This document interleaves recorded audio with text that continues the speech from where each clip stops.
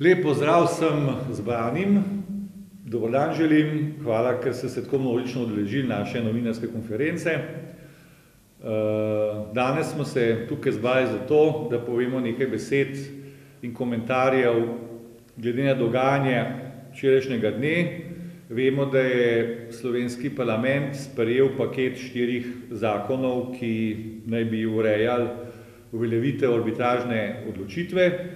Hkrati vemo, da je, torej evropski, Evropska komisija, se pravi predsednik Juncker, imenoval svojega podpredsednika, Franza Timmermansa za tistega, ki naj bi posredoval med Slovenijo in Hrvaško pri uveljavljanju te mednarodne razsodbe.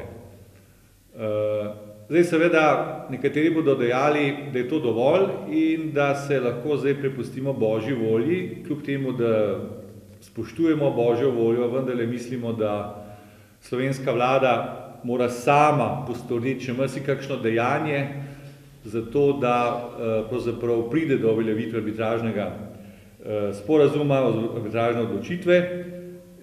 in zato, seveda potrebuje neko novo taktiko, neko novo strategijo, kajti soočeni smo z dolgoročnim sistematičnim hrvaškim nasprotovanjem uveljavitvi arbitražnega sporazuma in, hrvaški cilj je, da bi Slovenija sama na koncu odstopila od te uveljavitve. zato je nujno, da slovenska vlada,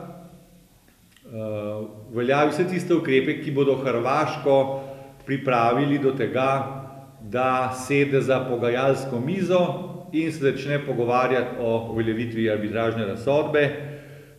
to pa je možno samo tako, da pravzaprav Slovenija izpostavi in pozicijo moči in hkrati torej pogajanja, da torej gre v tisto klasično, lego pogajaj se s pozicije moči.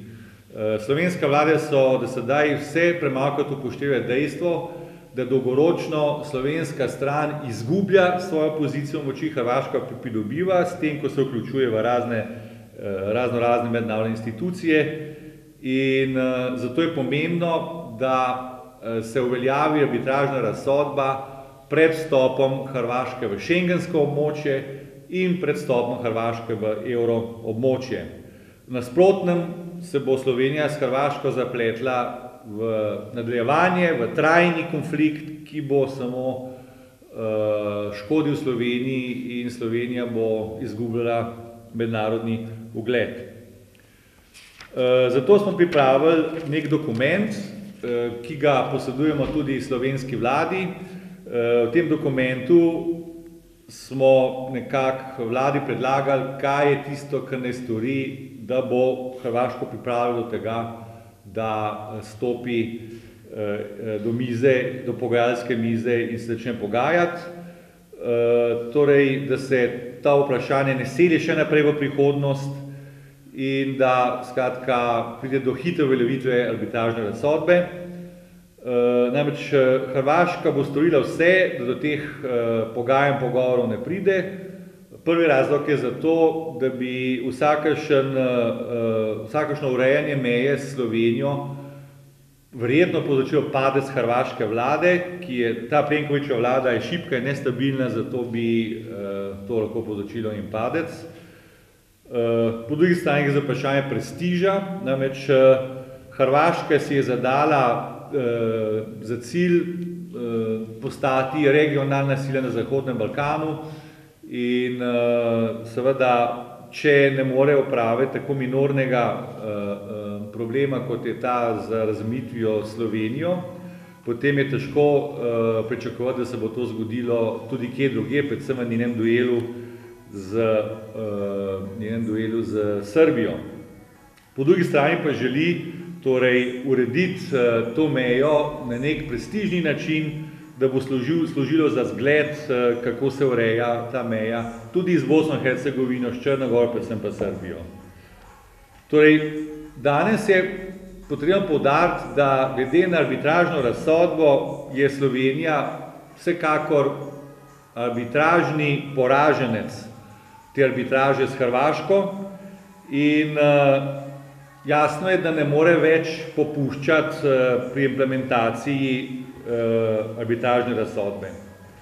Namreč slovenska uh, stran je pri razsodbi arbitražnega tribunala izgubila neposreden stik z odprtim morjem, 20 odstotkov Piranskega zaliva, ki smo ga v preteklosti v celoti nadzirali, in pa seveda kar 80 odstotkov kopenskih zahtev. To pomeni, da je arbitražna razsodba Slovenijo slaba in če slovenska vlada v prihodnih mesecih ne bo odločna eh, in hkrati previdna, potem bo eh, poleg ozemljskih izgub Slovenija eh, ponižena še pred celotno mednarodno javnostjo, kar bo Hrvaška poskušala storiti. Zato predlagamo slovenski vladi trši pristop. In sicer prvič, končati je treba s pahorjevstvom v politiki do Hrvaške. Slovenija je že prijazno postorila vse, kar je potrebno, da bi druga stran lahko vstopila v pogajalski proces. Drugič, znižati je treba raven odnosov s Hrvaško, bilateralnih odnosov eh, in to intenziteto spraviti v odvisnost od tega, ali se bo Hrvaška pogajala ali ne. Tretjič, vsako podporo hrvaškim ciljem v mednarodni skupnosti je treba pogojevati z napredkom teh pogajanj, In četrtič, vlaganje tož. Proti Hrvaški je treba na sodišču Evropske unije in na ostalih sodiščih eh, mednarodne skupnosti vložiti tožbe, zato ker ne želi implementirati arbitražne razsodbe. Seveda so eh, dobre usluge Evropske unije eh, dobrodošle, vendar pa je najbolj potrebno, da slovenska vlada stori tisto, kar je potrebno storiti, in uh, zagotovi uspešno podlago za uveljavitev arbitražnega uh, sporazuma. Zdaj, da bi dobili Hrvaško za omizje, uh, se mi zdi, da je ključna stvar ta, da Slovenija, predvsem slovenska vlada, začne stopnjevati svoj in tudi mednarodni pritisk na hrvaško vlado. V tem smislu predlagamo nekaj ukrepov, Prvi ukrep so klasične diplomatske poteze, kot utrditi zavezništvo v mednarodni skupnosti, pridobiti države na svojo stran, da vplivajo na Hrvaško in hkrati povedati, da ne bo Slovenija podprla nikakršnega hrvaškega cilja v mednarodni skupnosti, če ne bo napredka v pogajanjih. Drugič, predlagamo, da slovenska vlada in diplomacija uredite vse, da pride do mednarodne konference vseh tistih držav, ki imajo odprte mejne probleme s Hrvaško. Eh, ob udeležbi predstavnikov Evropske unije, ta mlada konferenca je dodaten pritisk na Hrvaško, da sede za pogajalski stol. Tretji ukrep, eh, slovenska vlada ne zniže raven mejnih prehodov s Hrvaško, hkrati ne na mejnih prehodih strogo uvaja šengenske postopke in tudi to strogost uveljavlja v povezavi z številom incidentov v Piranskem zalivu. Če se incidenti množijo, so postopki na meji stroži in obratno. Eh, tudi v Piranskem zalivu, ne po 29. decembru, slovenska vlada, predvsem seveda, seveda slovenska policija, prične strogo izvajati mejni nadzor in po zakonu uh, krši, uh, torej kaznuje kršilce. Četrti ukrep, v področju stika je nujno, da pride do uh, skupnega nadzora obeh policij, da slovenska policija vstopi v to področje stika, v področje Džančna in da nadzoruje, uh, kaj se dogaja pri vstopu v slovensko teritorijalno uh, morje. Petič,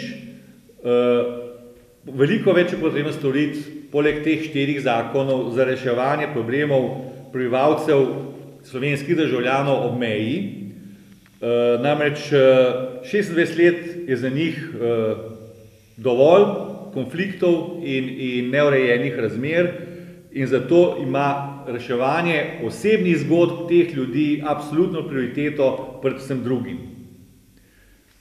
Šestič, Hrvaški strani ne slovenska vlada predlaga, da njihovi ribični školkari uh, seveda lahko lovijo v Piranskem zalivu ob slovenskih dovoljnicah, hkrati pa slovenski ribiči tudi tradicionalno, tudi po sopsu, uh, lovijo in ribarijo uh, vsaj do vrsarja, tako da gre za neko vzajemno kompenzacijo. Sedmi ukrep na kopenski razmejitvi, ko se državi pogajata, je potrebno doseči, da čim več slovenskih hiš, kmetij ostane na slovenski strani in zato je bilo potrebno doseči dogovor, da v pasu, ki gre recimo do tristo metrov od meje, ki je razsojena, pride do drugačne razmejitve in da slovenske hiše ostanejo na slovenski strani, hrvaški pa ponudimo za to kompenzacijo kje drugje, ker je prioriteta zaščita slovenskih državljanov. O tem bo več povedal v nadaljevanju še Sašo, kakšen je predlog. In na koncu, nenazadnje osmi ukrep, ki ga predlagamo, je, da seveda želimo bilateralna pogajanja in tudi potem skupen nastop pri določitvi meje v naravi. Če tega ni, potem mora slovenska vlada iti v enostransko določitev meje, če pa vmes pride do fizičnih konfliktov, pa je potrebno to problematiko internacionalizirati in v dogovoru z Evropsko komisijo potem poslati na mejo tudi mednarodne, se pravi evropske policijske sile. Vsi ti ukrepi so torej pogojni in so odvisni od tega, ali Hrvaška sodeluje v postopku pogajanj o uveljavitvi arbitražne sodbe ali ne. Postopki se zaostrujejo, zvišujejo ali pa opuščajo, če je napredek dosežen. V vsakem primeru pa mora hrvaška vlada vedeti, mora biti prepričana, da bodo zanjo stroški nesodelovanja pri uveljavljanju arbitražne sodbe višji od tega, kot da bi vodila dobrososedske odnose in se Slovenijo dogovorila. Toliko bi samo povedal, zdaj pa prosim Sašo, razdeli še tisto okrog naše ideje, kako bi določili v naravi dodatno mejo med Slovenijo in Hrvaško glede na arbitražno. No, okej, za uvod bi malo povedal, da se nam dogajajo sicer v manjši meri podobne zadeve, kot so se nam zgodile s katastrofalnim koroškim plebiscitom, ne.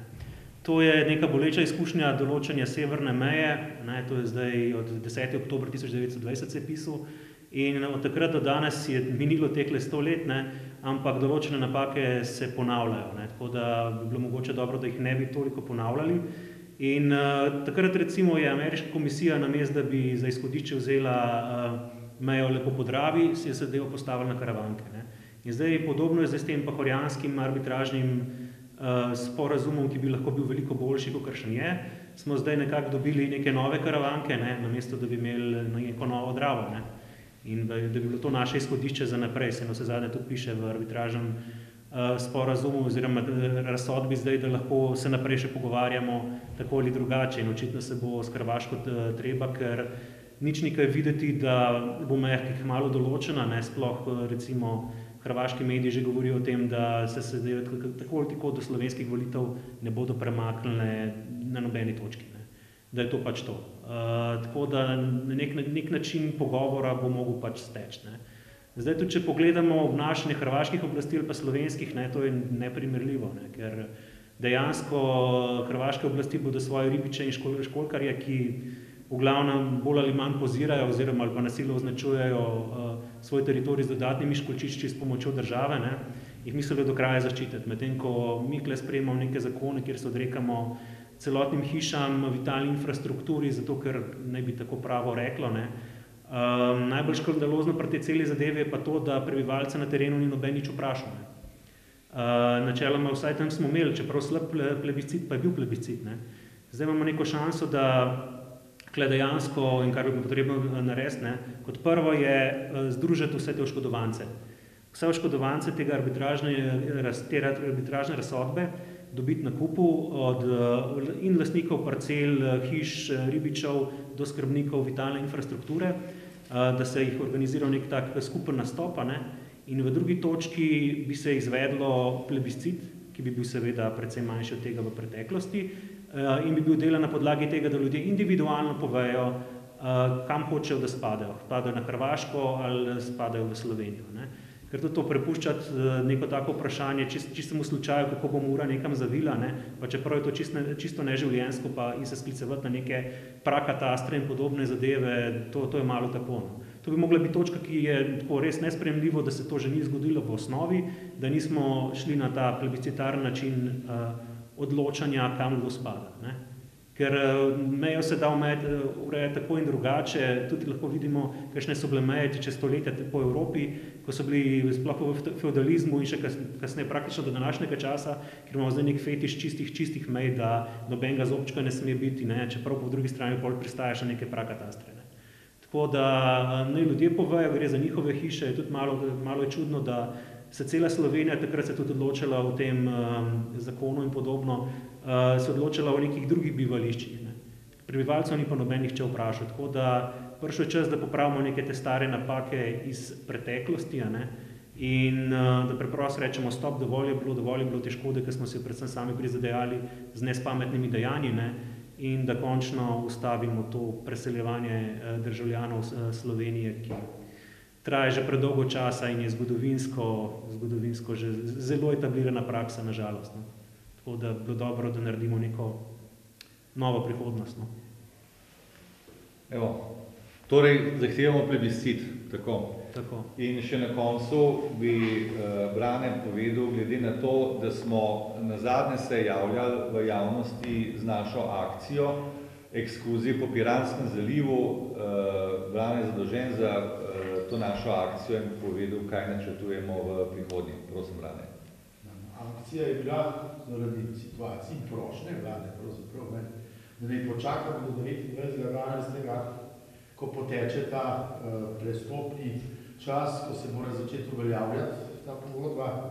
Uh, smo pač bili prisiljeni prisluhniti, ker so nam rekli med vrsticami, da bo uh, policija tista, ki ne bo dovolila te vrstnega potovanja po naših.